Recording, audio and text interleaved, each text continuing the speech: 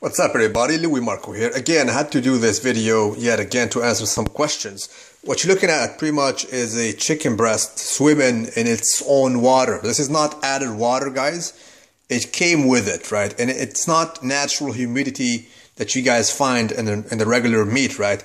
This is added on purpose when they basically produce, I mean, when they package uh, the meat, right? They infuse literally water into it so the meat will weigh more, right? And they will sell to you for a heavier weight.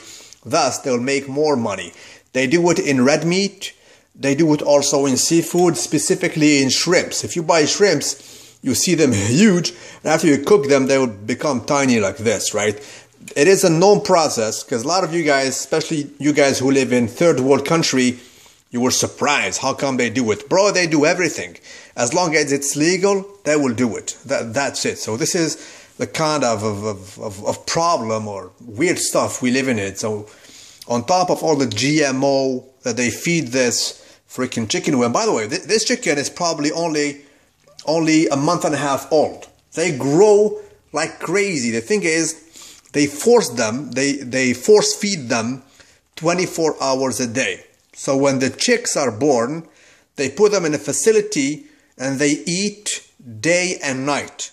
So they will grow the most optimal way. And all of them are females because the males, they grow slowly. So they kill the males actually at birth. They kill them. They put the, the, the live chicks in a grinding machine and they kill them. And this is the final result I have to, to, to cope with basically. Uh, basically, my, my chicken is swimming in a freaking lake. And, uh, you know, the, the, the, the, look at the power. It's very low and still. That's what's up. So this is what they do. Uh, pretty much. Uh, finally, if I would live in a, a tempered country when we have no snow, like we do have in Canada, I will definitely raise my own my own chicken, guys. I have no choice and the taste it tastes like plastic. I gotta be honest with you guys because i lived in other countries. When you go to africa you know uh, north africa or southern europe people there raise their own chicken. Trust me it tastes real. So most of us like north americans or even you europeans mark my word for it we did not actually me because i lived there but you guys did not taste the real taste of of food when it comes to vegetables or chicken or meat, it tastes nothing here, right? It is GMO infested, pesticide infested, but this is what we have to deal with.